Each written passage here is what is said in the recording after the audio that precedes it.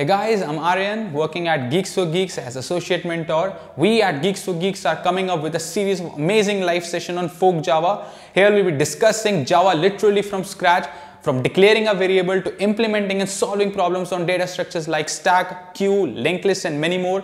The series is going to be held Monday to Friday 4 p.m. to 5 p.m. only on Geeks for Geeks Java YouTube channel. So if you haven't subscribed the channel, hit the subscribe button and stay tuned for more updates.